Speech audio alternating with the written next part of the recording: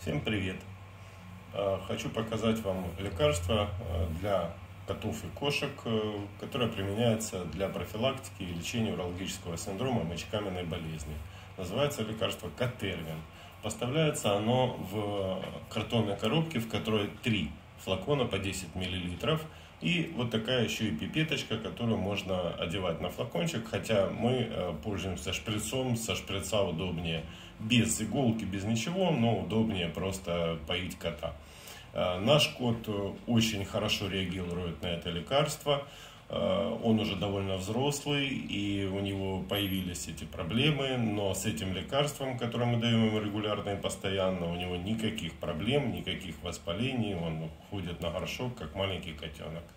В упаковочке 3 флакона по 10 мл и пипеточка. Здоровья вам и вашим котикам.